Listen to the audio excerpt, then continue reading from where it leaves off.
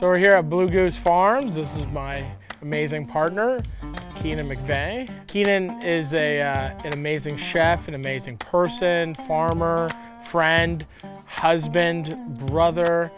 Everything about Keenan is really special. He makes these soba noodles, and I haven't had any, and so I think today we're gonna gather up some vegetables and make some soba noodles. And then we're gonna make some sweet tea.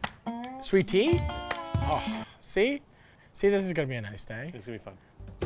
Doesn't get better.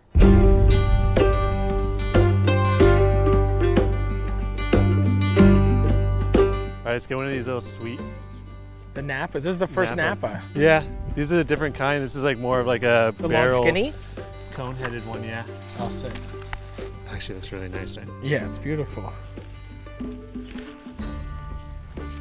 That's pretty.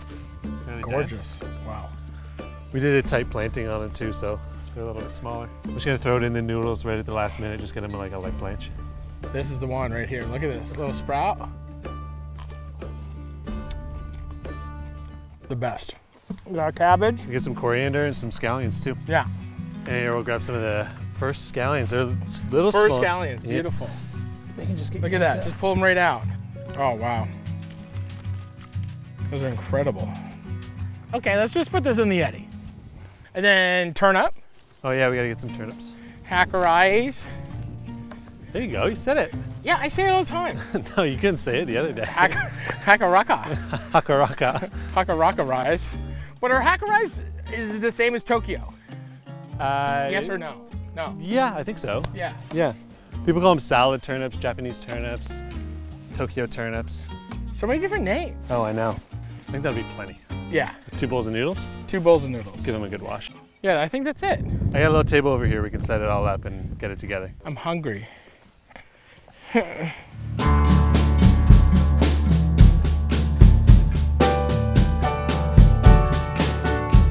I met Matty maybe like 2016.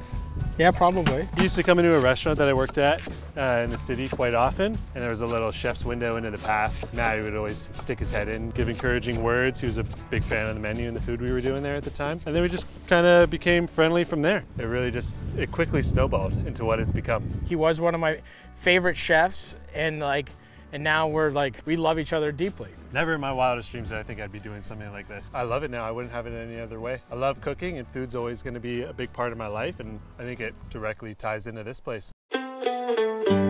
There is like a responsibility to to having something like this, this this property and like when I was a chef I used to go to farm tours and do all these things and you're like, you know, you do a farm tour, you learn about it, but then it's just like you know, you do get excited, but to feel it and to like to really see things grow and to see how like this used to just be grass, you know, and and it's just like and I think that's what really stuck out with me when I like when we first were talking. You were like, it should be like illegal for somebody to have like this much yard. Blue Goose is named after my grandfather's restaurant, and uh, like restaurants don't make me feel the way Blue Goose makes me feel. And it's just like it's like the same as having kids, or like the way that you love your children, or the way that you love your partner, or the way that we love each other, or like the way that like everything is so different, and, and you get these beautiful aspects from all these different walks of life and different areas in your life. It's really um, I don't know. It kind of blows my mind sometimes. Doing something for the first time is scary, but I'm always like I'm dumb enough to jump. Either you're you're dumb enough to do it, or like you're naive. Yeah. You know, like we're gonna do this. It would have been a big what if if we didn't do it. It was It was too more, big. Yeah, more more than any other what if I think I had had in my life. I'm very fortunate and glad that Matty gave me the call and he said, you know what, fuck it, let's go for it. You could have the worst days in the world and come out here and, and walk around. It's beautiful. It makes you feel good, period. Here, do you want to use that? Thank you. We're gonna do soba oh. in here. I'm gonna do the tea in there. You're doing the tea in there. Okay. Get the tea going. Okay. Okay? Just getting some fresh chamomile buds for some cold sweet tea that I'm gonna make for Matty. All the chamomile plants on the property have reseeded themselves from last year. We didn't plant any of them and they're everywhere. It's pretty fantastic. Oh yeah, it smells good. Just gonna get it into a mason jar and then I'm gonna plunge it into that Yeti cooler and cover it with ice, get it nice and cold for us. See you later. So soba noodles are buckwheat noodles. These ones contain a little bit of wheat flour, but they got this really toasty buckwheat flavor, really nice chew to them. Are you got cabbage ready? Because this is only gonna take a couple minutes. Yep. Let's get all the raw stuff in the bowl. Yep. Do you want to cut up this, uh, give this a rough chop? Yeah, yeah. Fresh vegetables, fresh herbs. It just looks so delicious. Like, just look at this. Cooking soba at the farm is like super fast. There's, you can go out there, grab a couple turnips, grab a little bit of this, a little bit of that. It's a fast, easy, delicious way to eat something off the farm Oh, yeah. without putting in too much work. Lunch. Some beautiful tea. Oh my oh, god. Oh, be careful. What a trip. Huge Dude, if trip. you tripped, if I tripped, there's just flies. Just you know? get out of the grass. This is the days. These are the days we live. These are the days of our lives. This is nice. Yeah, it is. Ooh. Yeah, it's crazy down. Thanks, bro. Thank you. All right. No, I don't know. There's not much better. It's like a little piece of Asian pear. It really is something. It really is like a perfect thing. Uh, better than anything. Better than anything. See? There's the best. Love You know? Love you. This feels so good in your belly. Yeah. You know?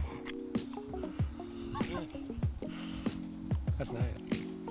I don't want to say we're the best, but this is kind of just as good as it gets. It is really, yeah. Yeah. You gotta pinch yourself from time to time. See, we finish this and then we go h- hit some balls. I'm down. Crank them back to those fucking losers. Where'd it go? It's gonna, hasn't landed yet. Dude, I'm gonna launch this one. See, one arm, watch this. One arm. I'm so terrified of this right.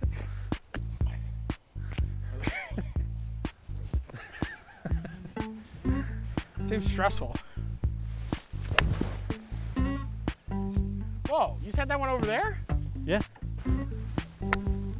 Boom! There you go. Dude, right there. That was. You get that one? yeah, boy. Boom!